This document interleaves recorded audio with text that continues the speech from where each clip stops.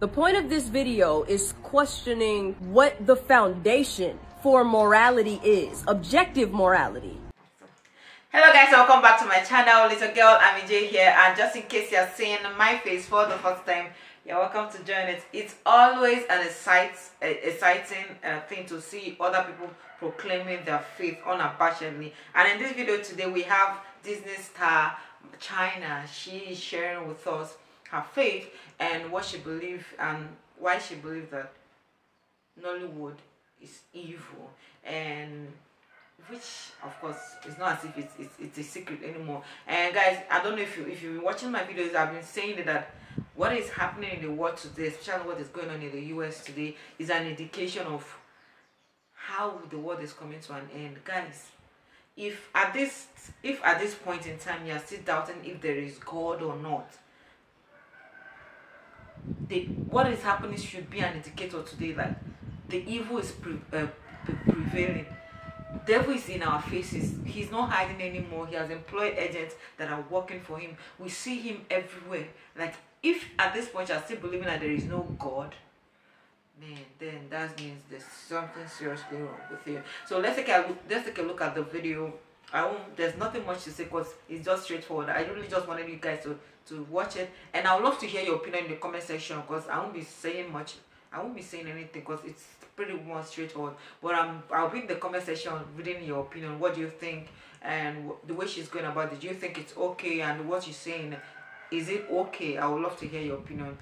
So let's do this guys just say hypothetically for a second that god doesn't exist i'm not saying that people that don't believe in God are not capable of living moral lives. I would never say anything like that. The point of this video is questioning what the foundation for morality is, objective morality, without God. Because think about it like this. We are teaching our children, don't don't steal or or do any of these things. But I'm only telling you not to do it because it's socially unacceptable. There's no afterlife, no transcendent justice. You came from the dirt, into the dirt you will return. Y'all see what I'm saying? As soon as life gives them a good kick in the butt, they're like, hold on, what has society ever done for me? Society has never done nothing but hurt me and giving me insecurity issues, giving me depression, giving me anxiety. Why should I follow these rules though?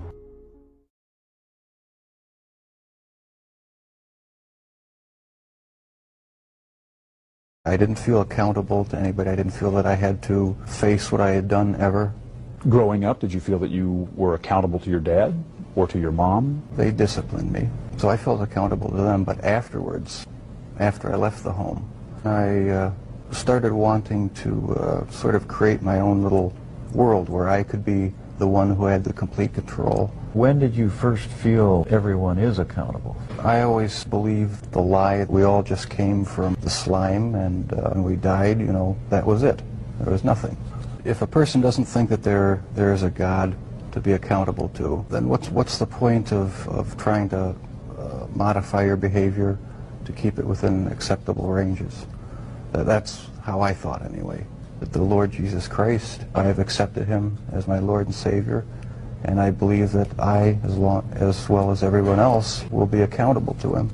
Michael McClain's snake in the yard analogy. Say we're best friends. You come over to my house and we chilling. And then I remember, oh, shoot, I forgot to take my dog out. Stay here. Let me take him in the backyard. I'll be right back. I take my dog downstairs. I unlock the door. What do I see? I see a snake in the yard. So I grab my dog, rush back inside, close, lock the door. Then I go back upstairs where I left you. I see that you've gotten up and you're about to leave the room. And I'm like, wait, where are you going? And you're like, I wanted to go to the backyard too. And I say, Okay.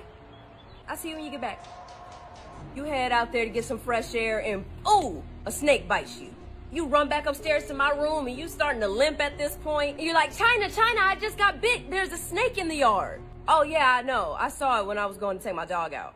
What would your next statement be? China, why didn't you tell me? Now, if you told me, oh, I'm going to the backyard to get some air, and I said, oh, no, no, no, don't go back there. I just saw a snake back there. Would giving you that information be forcing something down your throat? Forcing my beliefs on you? No, it's showing you that I love you. I do videos talking about God to warn you about the snake in the yard. That's the point. And now you have a choice to make. You can either choose to be like, heard you, I'm gonna go back the way I came. Or you're gonna choose to be like, China, I don't believe you. I'm gonna go back there anyway, excuse me. Either way, I'm not gonna force you to do nothing. But if you end up in trouble, just know that I tried. So you can't be mad at me, you can't blame me. And guess who else you can't blame? God. Because I've heard so many people say, no, I don't believe in God because he ain't never tried to show me no sort of sign. Really? How'd you come in contact with this video? Did it pop up on your For You page or your home page randomly? Did a friend or a family member just happen to send it to you out of the blue? If you don't want to watch my videos talking about God, I love you. Entertainment industry, it's about influence. There is a reason why you see people dressed up as Satan full on visuals of Satan, people dressed as Satan, dressed as a demon, got upside down crosses all on their clothes or pentagrams on their clothes. People think that this stuff is just a game. No, there's a, there's a reason why the entertainment industry is doing that, y'all. They know good and doggone well that God exists. They also know that Satan exists. They're just counting on the fact that y'all don't know that. But either way, the things that you take in, that they're feeding you, those things affect you whether you realize it in the moment or not. They affect you. That's why they do it. I'm not going to sacrifice the honesty in order to be politically correct. I can say whatever I have to say with respect, but I'm going to say it, and, I'm going to say it bluntly.